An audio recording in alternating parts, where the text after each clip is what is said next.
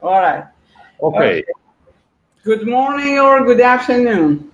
Yes, it It's a pleasure to be with you, and it's a pleasure to join Horasis webinar once again. I've been attending a few of the Horasis uh, before, seminars before in person. This is the first time I go, we go on a webinar. Anyway, Yes, Uh, uh, Mr. I will start intra- introducing everybody uh, just for a few minutes, and then I will start. Uh, yeah. Uh, okay, uh, ladies and gentlemen, uh, delegates of Horasis Asia meeting, and dear Dr. Frank Richter, chairman of Horasis. And we are starting our session, which is dedicated to the Greater Caspian region. Uh, first of all, uh, I would like uh, to clarify or explain what does it mean Greater Caspian region. And uh, this term was invented uh, four years ago uh, when we started the Caspian Week conference in Davos, uh, because uh, before mainly our region was called Eurasia in the international level, which I think is not so much relevant because Eurasia, in some languages, in some cultures, it's Europe and Asia. In some cultures, it is uh, uh, space between Europe and Asia. And uh, and uh, we invented the term uh, Greater Caspian region, uh, and which includes uh, Caspian Sea uh, and surrounding countries, Black Sea and surrounding countries, and Central Asia, including Afghanistan and north of Pakistan. And uh, we are talking about 5 million square kilometer area, and with 500 million people living there. Now, I would like to introduce our speakers today. Uh, some of them are from the region, uh, some of them from outside the region, uh, but all of them they have extensive experience and relations with the Greater Caspian region. And uh, I am Murat Seitnepesov. Uh, I am the president of uh, Greater Caspian Association and chairman of the organizing committee of Caspian Week in Davos. I am originally from Turkmenistan, from the region, exactly from the region, but living and working in Switzerland already for more than 10 years. Uh, now I would like to introduce our speakers. Uh, we will start with uh, Ferial Mostofi. Uh, she is uh, from Iran and she's a member of the board of Iran China Chamber of Commerce. Also, uh, she is uh, involved in the various chambers of commerce, like Tehran Chamber of Commerce. She is the chairman of the Investment Commission of Iran Chamber of Commerce uh, and Foreign Investment Committee of Tehran Chamber of Commerce and uh, Investment Commission of Iran Chamber of Commerce. And uh, also, she is a successful businesswoman. Uh, she is chair, chairwoman woman of the company KDZ Group. And we are very happy to welcome uh, Ferial here because we don't have so many delegates from Iran for the last years, and uh, especially because uh, she is a woman and that she is representing really the best, beautiful part of Iranian society. And uh, uh, we are very happy to see you here. Uh, now, uh, Marco Passalia, uh, she, he is from Switzerland. He's a member of the Parliament of Canton Ticino. Uh, also, he's the Secretary General of Lugano Commodity Trading Association. And uh, he is also a successful businessman. He's a partner of the company Enet SA, which is involved in the natural gas trading.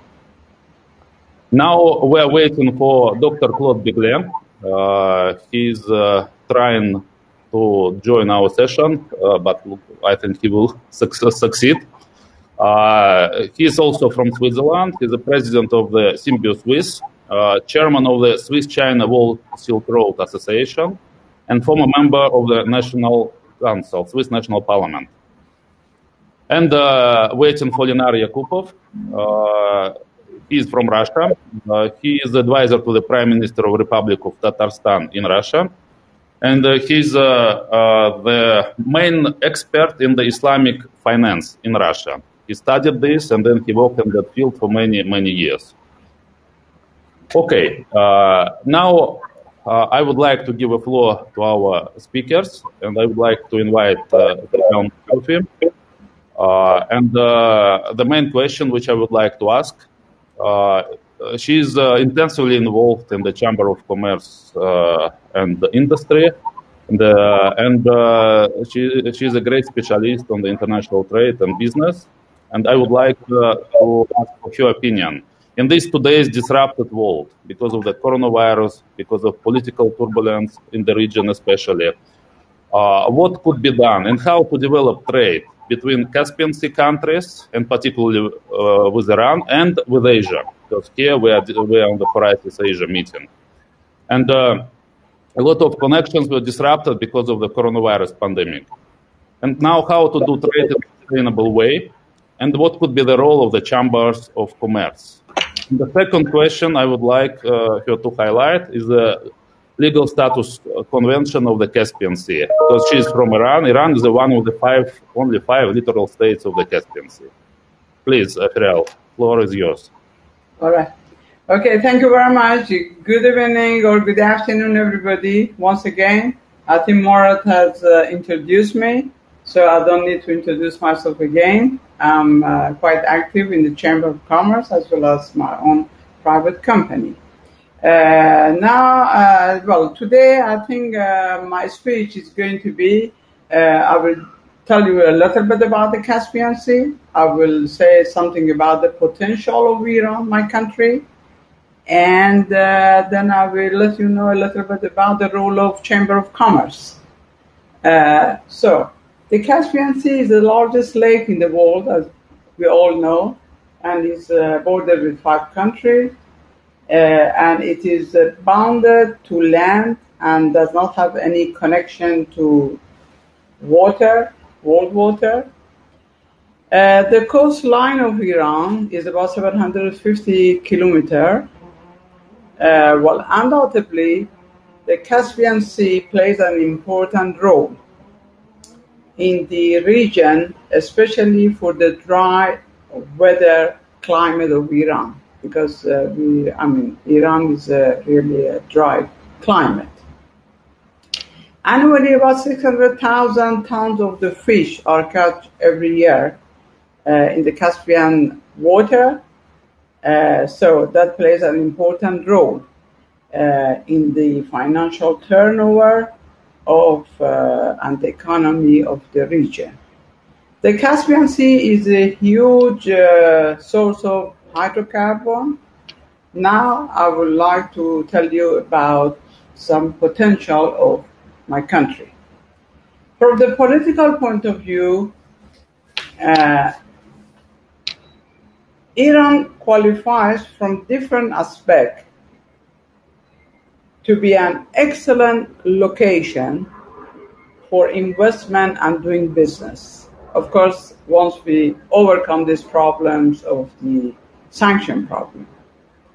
Uh, well, Iran is in a, strategic location, a unique uh, geographical location at the heart of the crossroad connecting Middle East, Asia, and Europe.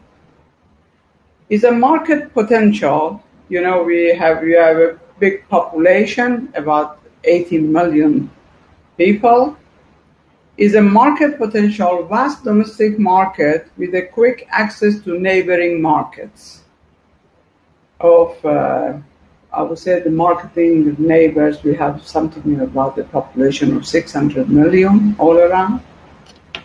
Uh, we have a labor privilege, large pool of trained and efficient manpower at a very competitive cost.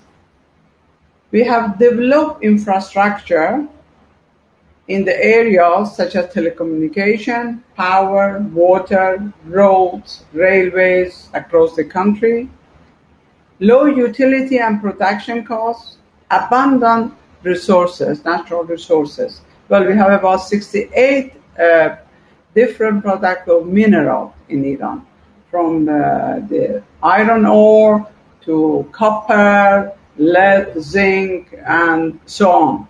Okay, uh, so it's a very good um, legislation for investment. And uh, the other thing which I can say is a prime transit position between the Caspian Sea in the north and the Persian Gulf on the south. Uh, this location is very important. As I explained before, uh, Caspian Sea is uh, uh, doesn't have any access to free water So Iran can be a very good location for transiting and transportation uh, of the products from the Caspian Sea towards the Persian Gulf and uh, Oman Sea. Uh, you know, I mean, countries like India, Afghanistan, all this, they require a lot of energy, which can easily be done uh, through the, you know, uh, land of Iran. Uh, well, in Iran, I tell you, Iran has been um, done a, made a great advances in economic and social development. Successfully, we have been transitioning from a planned economy into a market economy and found the development path fit for its natural condition. Now I'll tell you a little bit. Uh, I don't know how, how, much did I spend, but anyway, I'll tell you a little bit about the role of Chamber of Commerce. You know, Iran Chamber of Commerce, which is mother is a uh, parliament of private sector. We have more than uh, 50,000 members. Uh, Chamber of Commerce, uh, which is the largest chamber in the country with over 19,000 members, and contributing about 40% uh, to the GDP, of, to the share of the GDP of the country. Uh, the economic era after JCPO, uh, which Frank visited Iran, uh, led to the establishment of the investment center at Tehran Chamber of Commerce, uh, with the aim for facilitate foreign investment. I would like to tell you a little bit what we do in the uh, investment uh, center. Considering Iran today economic environment, we are strongly looking forward to strengthen our mutual cooperation with the international community and especially with our neighbors. At the investment center, we have come to realize the importance of having more dynamic and interactive private sector in our economy in order to achieve prosperity. As the president of the investment center of the Tehran Chamber of Commerce, I would like hereby to share some of the center missions with you. Providing a platform for networking cooperation, sharing, and dissemination of the ideas and information, providing consultation to investors whom to want to invest, whom are attracting investment, outline Iran current landscape for investment attraction. And we, have, we do have training courses. After the JCPO, we did in the center, we did sign some memorandum understanding with uh, some uh, very famous uh, consultancy companies, such as.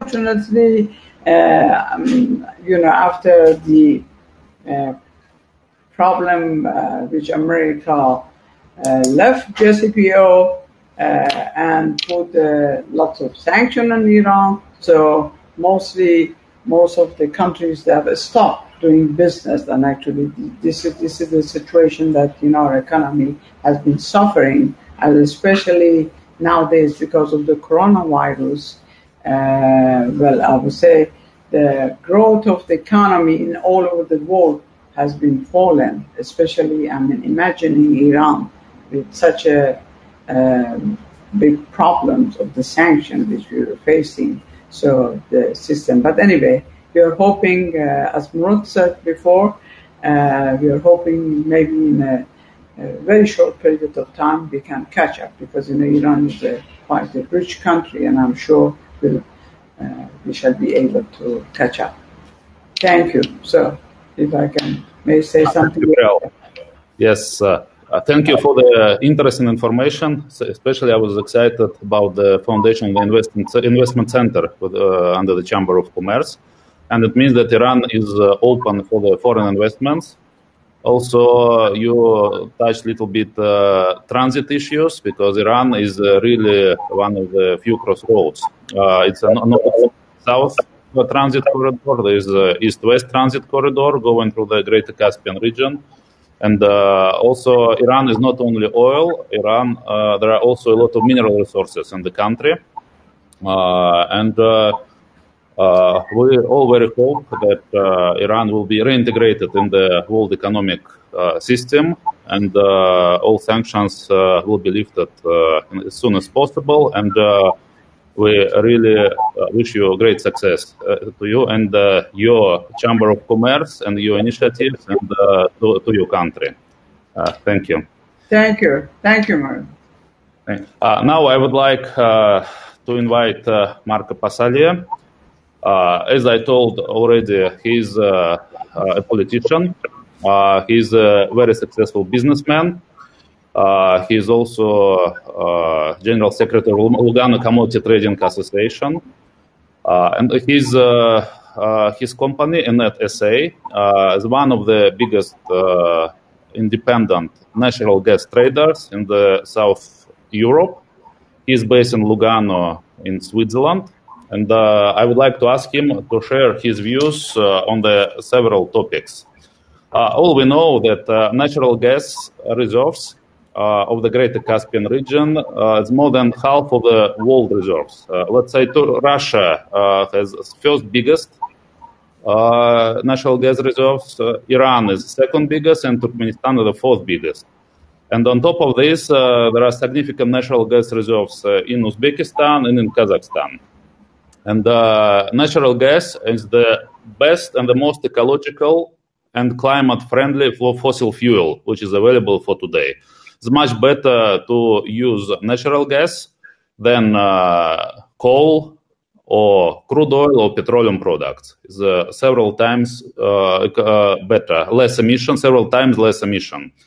And uh, there are a lot of reserves of natural gas. Now, how to move this gas out from the region and uh, how to monetize this gas and how to deliver this gas to the regions where uh, people really need it. I can talk about India, for example.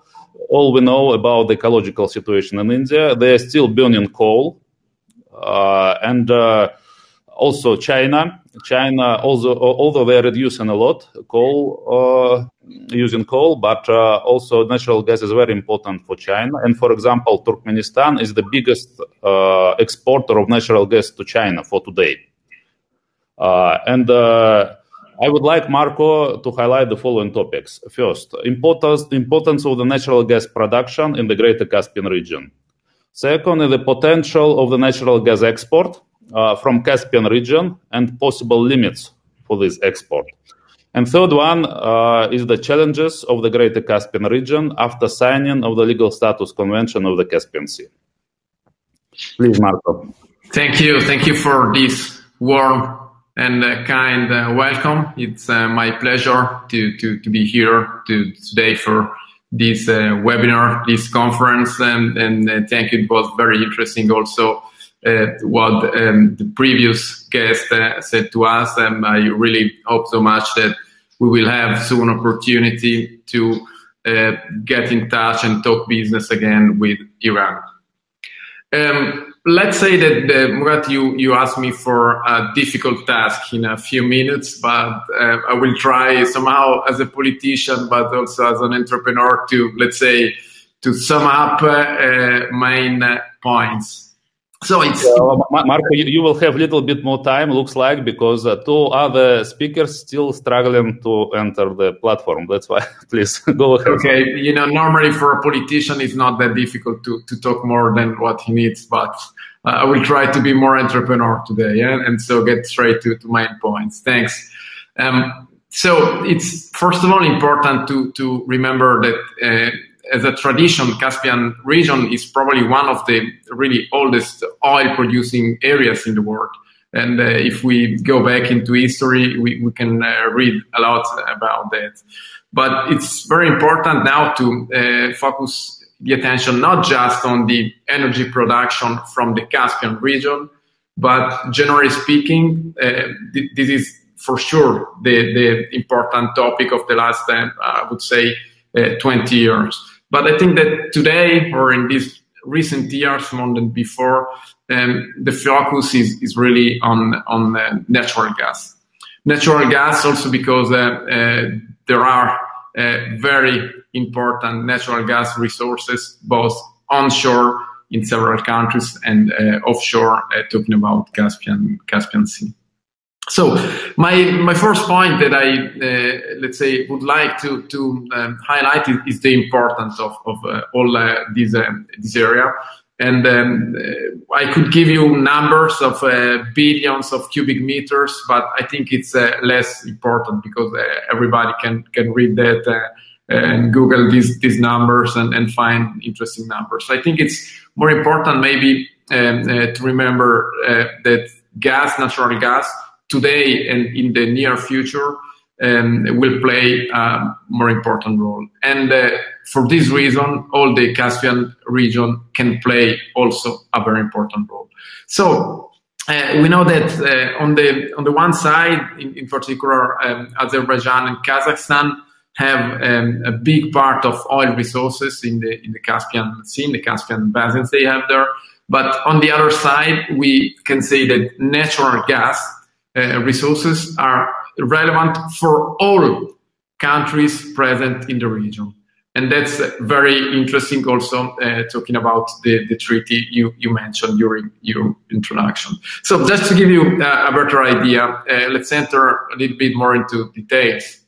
So um, let's say that uh, we, we know, or it's well known that biggest discovered natural gas fields are uh, onshore in Turkmenistan. You mentioned that in Kazakhstan, but also in uh, Uzbekistan and uh, offshore also in, in Azerbaijan. And of course, um, Russia and Iran have also very important interest talking about natural gas, in particular in, in, in the sea. Uh, most of the Azerbaijan's and Kazakhstan uh, production are or come from the, the middle northern Caspian basins, and uh, let's say that uh, most of uh, Azerbaijan production is also offshore. Interesting also um, to say that in, in comparison with um, Kazakhstan and Azerbaijan, uh, Turkmenistan has also a different position because of um, uh, the gas reserves onshore and uh, just a, a, smaller amount, smaller volumes of, of gas are potentially uh, the, in, in, the, in the Caspian Sea. So, uh, talking about, uh, let's say, this is generally speaking about uh, uh also the interest, uh, talking about net gas of, of all countries around the Caspian Sea. of course, Iran and, and, Russia that I mentioned before. And what, in my opinion, is very important is to understand the role of the Caspian uh, region in a geopolitical and uh, a global economic interest. Uh, because the, the potential um, of this region, talking about um, energy production, is huge. It's huge, and uh, considering the fact that it's very important, is also uh, very geopolitical, very strategic.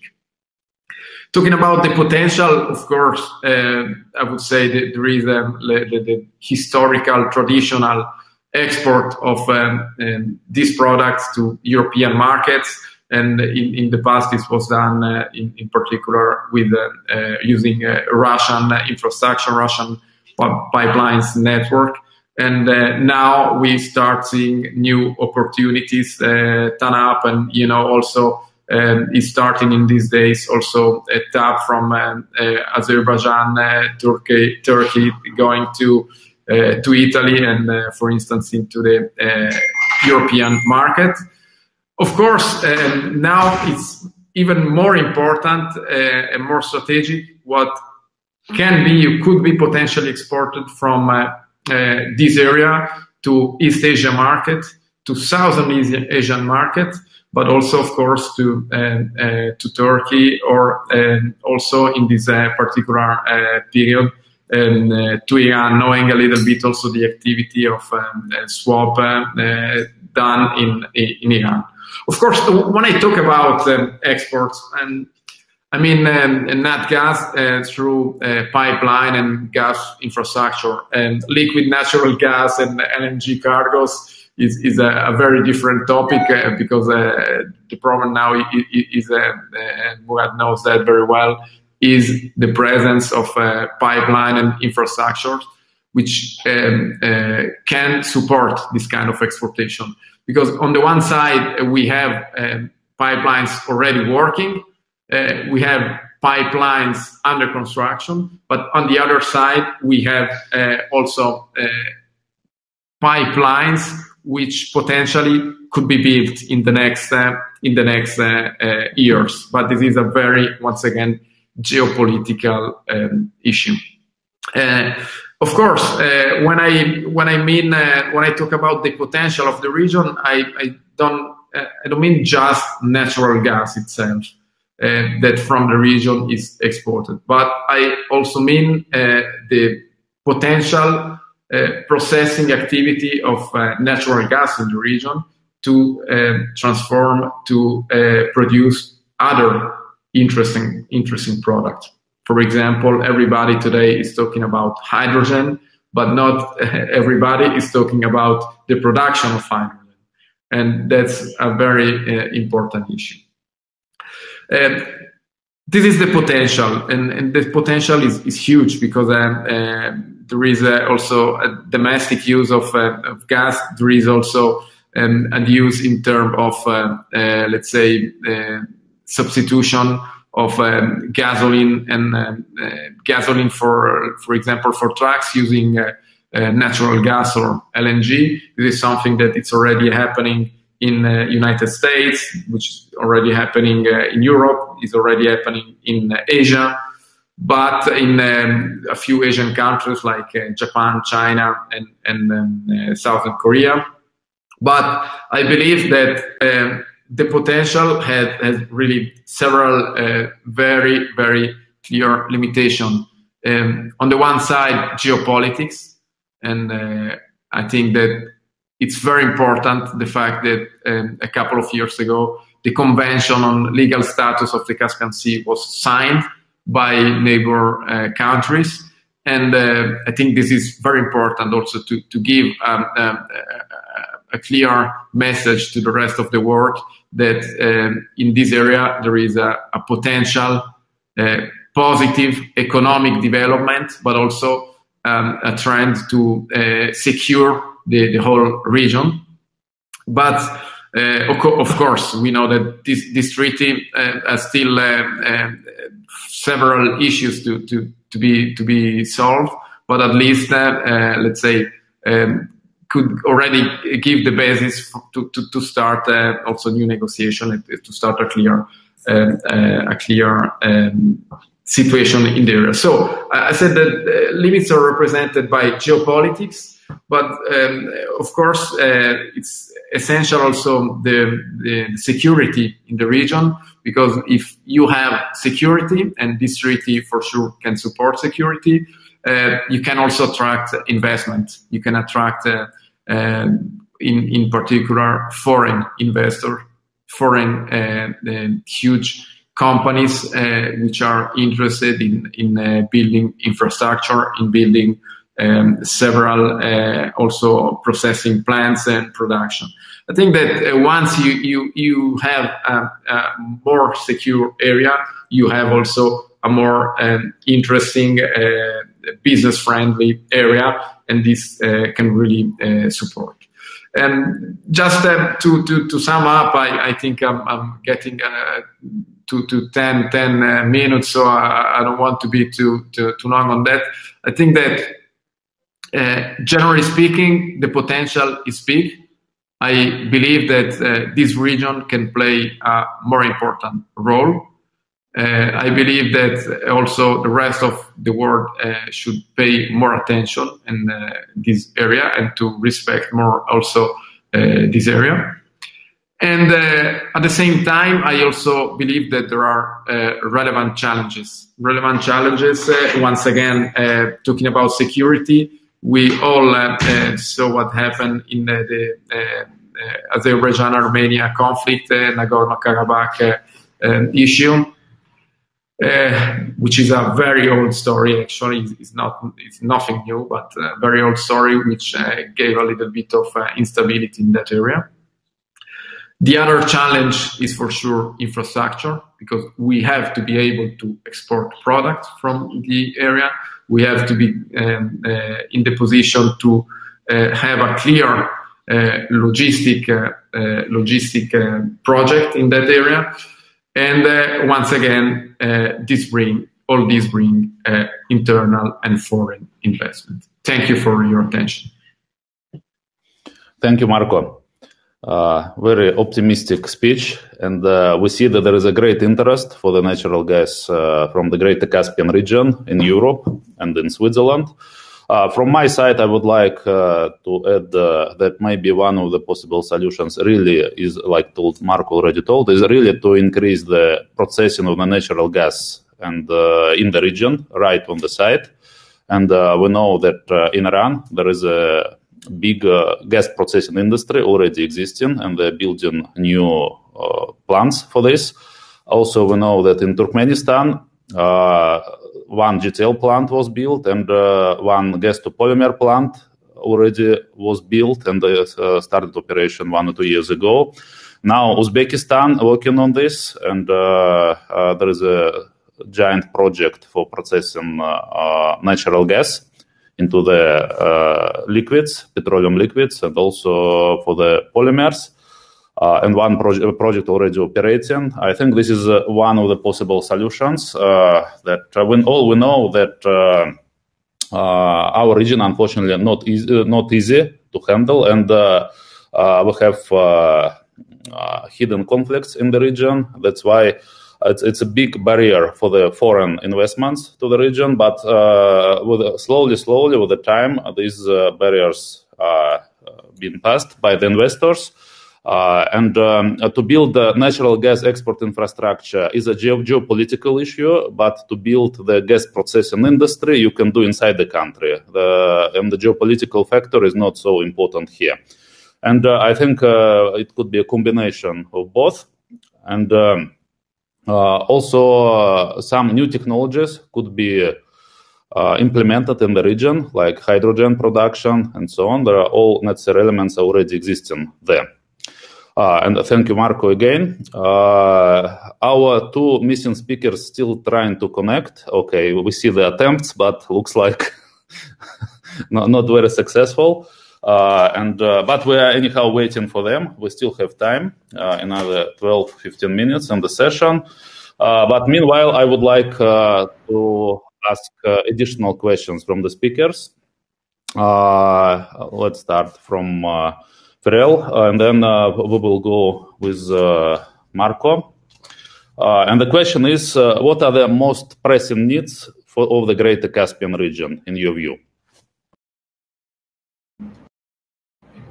Yeah, well, um, Morad, I think uh, one of the most important issue on the Caspian Sea is the environment pollution, which uh, is um, it really requires the cooperation between all the Caspian Sea states, uh, because since uh, the since the extraction of energy resources uh, this uh, place has become very polluted.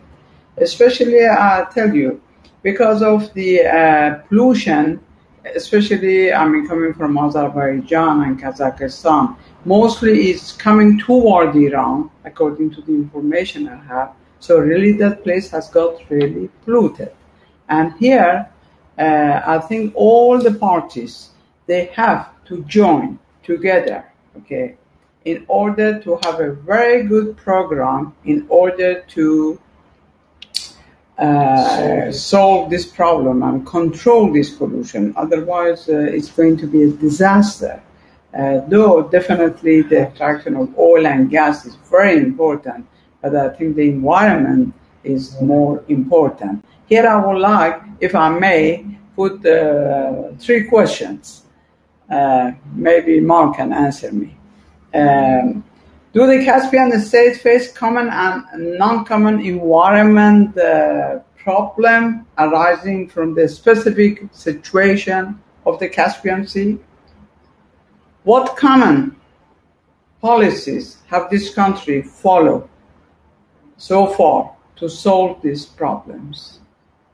And the third one is, what are the weakness and shortcoming of these common policies and what solution can be proposed to address these shortcomings. So, to my point of view, I think environment is a big issue which has to be taken, and of course, the security is uh, also is very important. Thank you, Ferial. Here, I would like comment that uh, uh, we are cooperating with, uh, there is another convention uh, on the ecological status of the Caspian Sea called Tehran Convention. And uh, here in Geneva, they have the headquarters uh, under United Nations umbrella, and they are dealing and, with the ecological issues of the Caspian Sea and trying to improve the situation. And we had several very fruitful discussions with them. Uh, I think uh, that on the United Nations side already some things are being moved uh, on the ecological issues of the Caspian Sea, and I think what we need here more involvement from the countries of the Caspian Sea itself.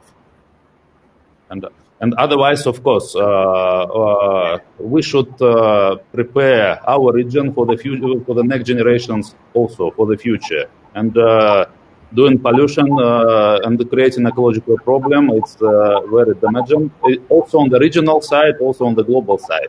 Because if uh, Caspian region uh, can produce so much natural gas and uh, crude oil, then uh, it's also very important on the global side with the climate change, with ecological issues, and so on.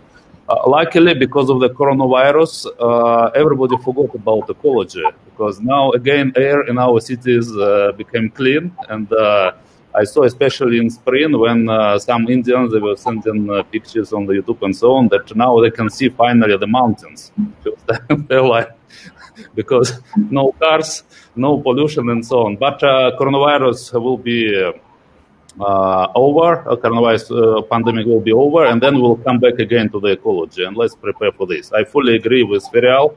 Uh, this is very important, uh, and for the Greater Caspian region, and for the for our world. Okay, Marco, please. Uh, thank you. thank you for, for the questions. I, I, I believe that it's. Um, today um, a bit much easier than a few years ago also to pay more attention on on uh, environmental issues on uh, let's say more sustainability in in business.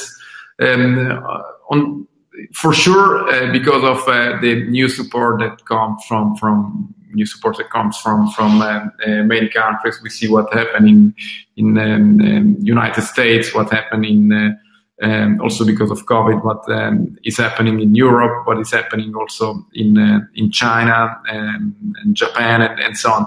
I think that um, it's uh, uh, also pretty normal to understand that um, if you can see um, a business opportunity in a uh, let's say more sustainable technology. Um, you will do it, and I I believe also now I'm talking more as an entrepreneur uh, then uh, this is the right moment. This is the right moment because uh, even politics, even new national and international rules are um, somehow supporting this kind of um, uh, new technology. Just a, an, an, example, uh, we talked about hydrogen because everybody's talking about hydrogen. It's, it's very interesting to, to understand how uh, hydrogen is produced. Most of this product is, is, is uh, about 70, 75% is, is produced from um, processing activity of natural gas. Um, so this means that it's not a completely clean uh, product. But in any case, it's cleaner than uh, other uh, products, other commodities used up to now. And uh, this is in any case positive. We we have to to see at the uh, sustainable uh, change, at the sustainability change as a, progressive uh, path to, to, to, a final aim. And I think that you cannot ask companies, you cannot ask people to change dramatically from today to tomorrow. Uh, because this doesn't work. But you, you have to start with small incentives. You, you have to start with uh, uh, subventions. You have to start also to somehow uh, support, uh, in particular, um, all uh, investors in really believing that there is also an economic benefit. And um, I'm trying to be, in this case, more as, as um, in, the, the, the, first economist used today used to used to say like um, Homo economicus so um, uh, see, I'm seeing at the issue of uh, environmental change, uh, uh climate change, from uh, let's say uh, a very economic point of view. So if, if you have benefits, if you have um, also kind of subventions or positive be- beneficial rules, and then you can you can really speed up all the process to to um, a better environment, uh, a, a, better climate change or a quicker climate change.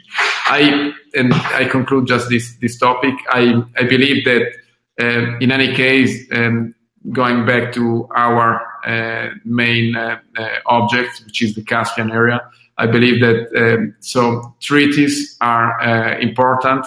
But I think that all the Caspian community decision makers of the Caspian community have uh, to talk, uh, have to, um, let's say, exchange more um, policies on also not just business, but business with a clear environmental plan.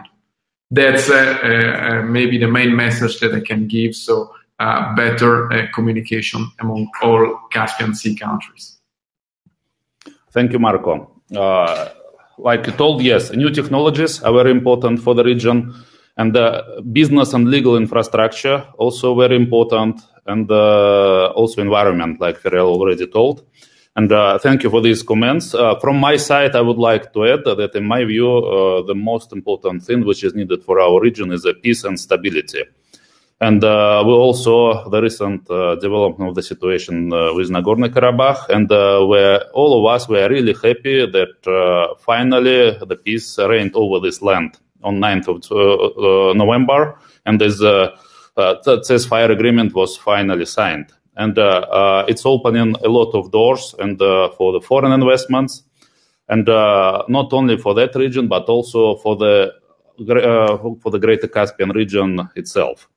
And uh, the second uh, uh, big problem which we have in our region is Afghanistan. And uh, we see that uh, a lot of progress uh, was made in the Afghanistan peacemaking process, but still is very far from the resolution of the situation. And uh, is the, if uh, in Afghanistan there will be no peace and no stability, then we should forget about foreign investment, we should forget about uh, effective foreign trade and transit and so on. That's why we should, all of us we should concentrate. Uh, I mean, the Greater Caspian region and the communities and the go- the countries, the governments and international organizations should concentrate to establish peace and stability in the region. Uh, this, uh, I think, were 50 seconds left time from our session. Unfortunately, our friends Dr. Beglé and uh, Linar Yakupov, they still they're still trying, but they were not able to join the session.